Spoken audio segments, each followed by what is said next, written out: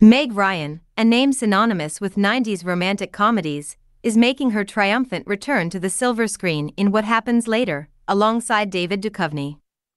But, what's even more fascinating is what she had to say about her eight year hiatus from acting. During a recent interview with Entertainment Tonight, the 61 year old actress admitted that she doesn't believe she's cut out for the spotlight. She reflected on her journey in the entertainment industry, which started when she was just 19 on a soap opera. Meg candidly revealed, I just don't think I'm a good celebrity. She described feeling as if she was living inside a bubble, isolated from the real world. However, during her break, she decided to focus on her family, sharing her experiences as a mom to her two children, Jack and Daisy.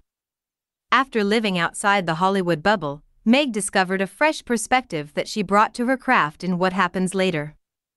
She emphasized how grateful she was for the multifaceted aspects of her life, having traveled extensively and gaining new insights.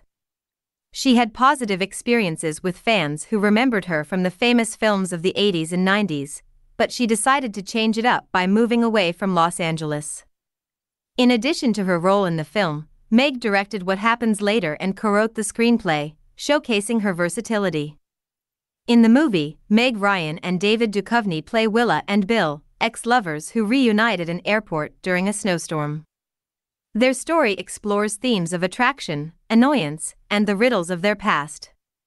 Is their reunion mere coincidence or something more enchanted? Meg Ryan's passion for the entire filmmaking process is evident.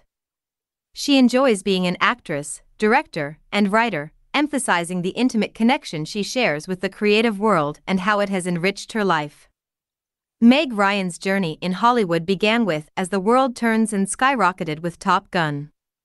She later became the queen of 90s rom-coms, starring in iconic films like When Harry Met Sally, Sleepless in Seattle, and You've Got Mail.